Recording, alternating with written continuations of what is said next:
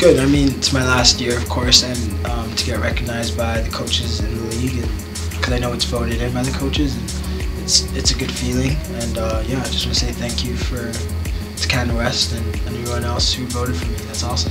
My teammates always push me to be the best and um, try to be better each and every day in practice. And when I'm not bringing my best, they always let me know and motivate me to be better. Obviously, the coaching staff has helped me in my play um, over the last five years. I think I've grown a lot. Um, Steve's helped me a lot to see the game differently, and um, yeah, I owe I owe the whole athletic department here at UNBC a big thank you for helping me to get better uh, on the field and off the field. It's nice to get recognized for stuff that you do on the pitch. Um, I mean, our, co our coaching staff, Steve and Rob, they do an excellent job at holding me to a high standard and uh, my teammates as well. They just allow me to push further and it's nice to hear that I got a second star Canada West.